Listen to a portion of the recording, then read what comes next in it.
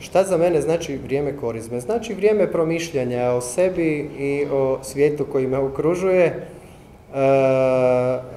nisam se ničega posebno odrekao, niti neću, ali ću promišljati o tome kako biti bolji čovjek i što manje griješiti mišlju, riječju, dijelom i propustom.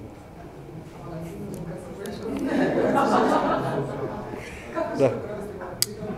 Valentinovo ću provesti sa svojom suprugom, kao i mnoge godine prije ove. E pa sad. ne, ne, uvijek ja pazim na suprugu. A i zamjerila bi da ne kupim.